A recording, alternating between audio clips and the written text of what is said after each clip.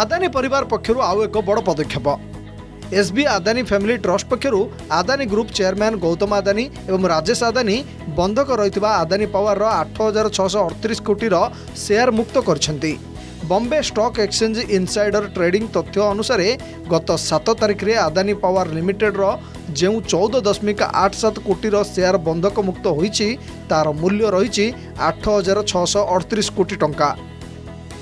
ଦୁଇହଜାର ଉଣେଇଶ ନଭେମ୍ବରରୁ ଦୁଇଶହ ଚଉବନ କୋଟି ମୂଲ୍ୟର ସାତ ଦଶମିକ ଶୂନ ସାତ କୋଟି ସେୟାର ବନ୍ଧକ ରହିଛି ଏସ୍ବି ଆଦାନୀ ଫ୍ୟାମିଲି ଟ୍ରଷ୍ଟ ପକ୍ଷରୁ ଶେଷଥର ପାଇଁ ପାଞ୍ଚ ଡିସେମ୍ବର ଦୁଇହଜାର ତେଇଶରେ ବନ୍ଧକ ରହିଥିବା ପଚିଶ କୋଟି ସେୟାର ମୁକ୍ତ ହୋଇଥିଲା।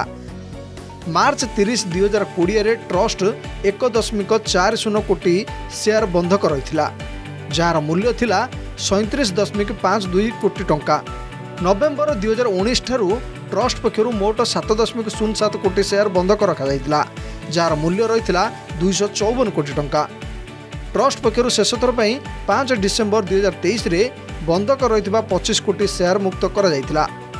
ଦୁଇହଜାର ଚବିଶ ଆର୍ଥିକ ବର୍ଷରେ ଆଦାନୀ ପାୱାର ଲିମିଟେଡ୍ର ତିରିଶ ଦଶମିକ ଚାରି ସାତ ପ୍ରତିଶତ ରାଜସ୍ୱ ଅଭିବୃଦ୍ଧି ସହ ଏହା ତେର ହଜାର ତିନିଶହ ତେଷଠି ଦଶମିକ ଛଅ ନଅ କୋଟି ରହିଥିଲା। ଯାହାକି ଗତବର୍ଷ ଦଶ ହଜାର ଦୁଇଶହ ବୟାଳିଶ ଦଶମିକ ଶୂନ ଛଅ କୋଟି ରହିଥିଲା।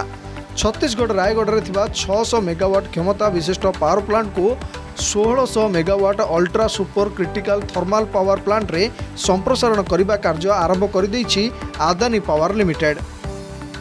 ବର୍ତ୍ତମାନ ଆଦାନୀ ପାୱାର ଲିମିଟେଡ୍ର ବିଦ୍ୟୁତ୍ ଉତ୍ପାଦନ କ୍ଷମତା ପନ୍ଦର ଦଶମିକ ଦୁଇ ପାଞ୍ଚ ଗିଗାୱାଟ୍ ରହିଥିବା ବେଳେ ଦୁଇହଜାର ଅଣତିରିଶ ସୁଦ୍ଧା ଏହାକୁ ଚବିଶ ଗିଗାୱାଟ୍ କରିବାକୁ ଲକ୍ଷ୍ୟ ରଖାଯାଇଛି। Bureau report Argus news.